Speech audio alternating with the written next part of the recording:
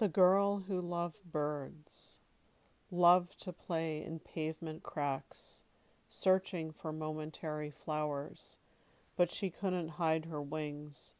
Others picked on her ruthlessly until she became plucked, bare as chicken flesh, before the great boiling cauldron of the world.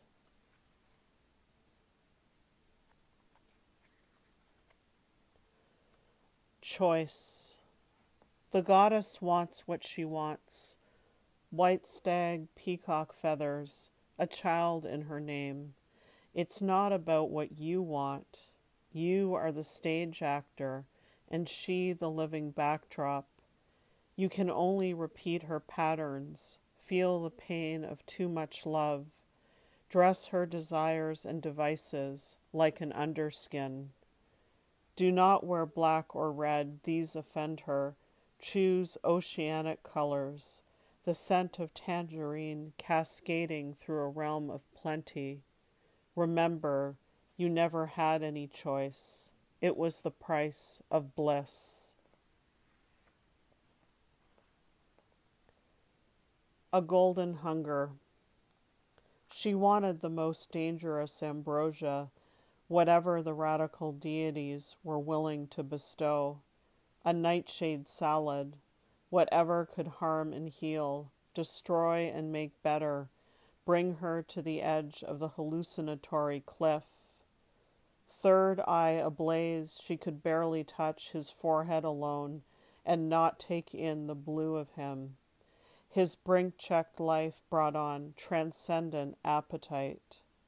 She wanted to overdrink every last drop before the gods, to wear the headdresses of near vanquished goddesses in a secret piazza at high noon, devour the illustrious fruits of a clandestine religion.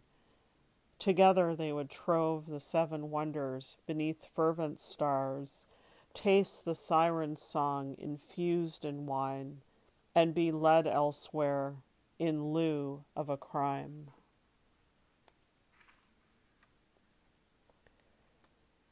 Pheasant. By the side of a country road, I find a pheasant, plumage gleaming, sunstruck in the afternoon, eyes closed like two half shells on a beach. An emerald crown adorns his head. Royal blue and violet paint his cheeks. Cardinal red cloaks his eyes like a mask at Mardi Gras. Burnt sienna with flecks of cream colors the length of his body. Ochre and yellow oxide tinge his wings. Beside the noble beak, I see the only sign of wreckage three fresh drops of blood on the road cherry red for an artist's palette. How elegant, how fragile, vulnerable, and proud this avian aesthete returned to the source of his kind.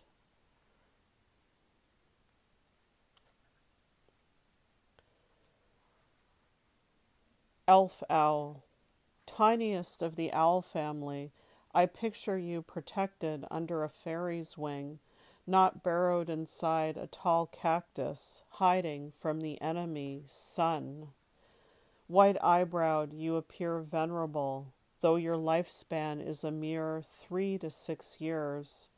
You subsist on blind snakes, the tasty insides of insects, spiny lizards and scorpions, stingers removed before consumption.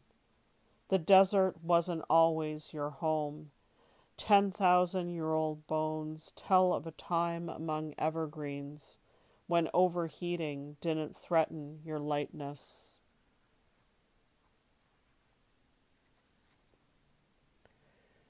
Raven Hang Glider, Lillooet, British Columbia.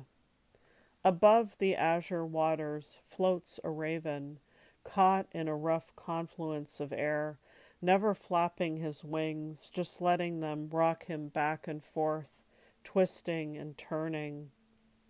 The mountains look on, the salmon pause in their struggle. The raven reaches back to deepest memory, earliest time when Raven made the tides by throwing sand in the face of a guardian elder, and she dropped the tide line forevermore. Nowadays, flying and trickery require much more effort. The guardians are almost extinct. The voyage from sea post to tree so fatiguing.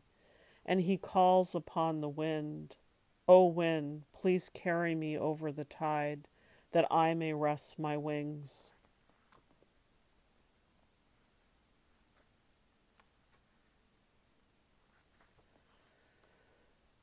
Note to the Queen of the Underworld Dear Persephone, I miss you, but you destroy me.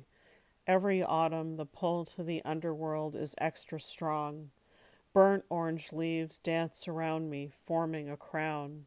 I visit the cemetery often, avoid men with the mark of hell.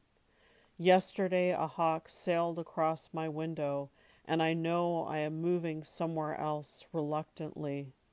Regards.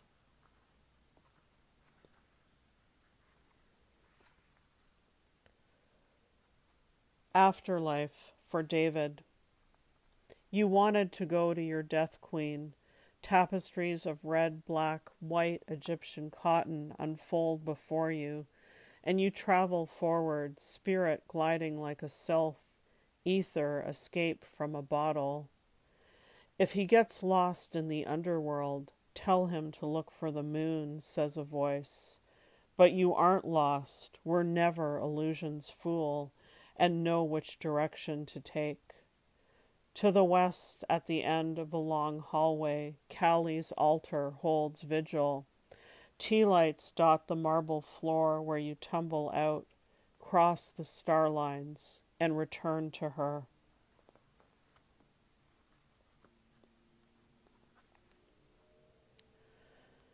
Athena threshold. If I can hold her light, if I can forego the palace of perfection and wear her armor so it lets me be free. The snakes will form an undetected shield to traverse the infinite city with laser beam eye and Amazon's flare, the last woman to be ensnared. To Athena. I never felt much connection to you, warrior goddess, until you wrestled me away from Persephone, her infinite seasons in hell, your shield and helmet a golden flash in a blur of darkness. I never felt much kinship to you, impervious one, a love of owls, that was it. Your armor signifying invulnerability the power to set clear boundaries and say no, fend off the overwhelm of others. It was never you, Athena, until I put the armor on, or rather, it grafted itself to me, and I bloomed metallic.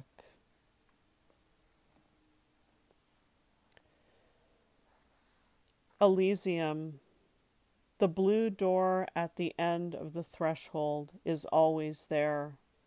Once opened, you can never return to the old ground. The world, a stranger's hand grasping throat, relaxes its hold. Illusory curses from Maya, the travesty of death, rebirth, an equal arm cross to bear, longing for the Elysian fields in the month of the sunflowers.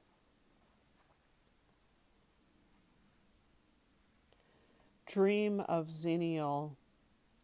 This androgynous being has transcended.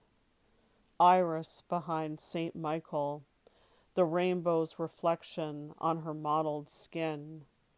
Not quite corporeal, as she floats above a lake of fire, wings tending downward. A descendant of the Watchers, her kind joining the ranks of an angelic penal colony in the fifth circle of heaven. What would those wings be like to touch?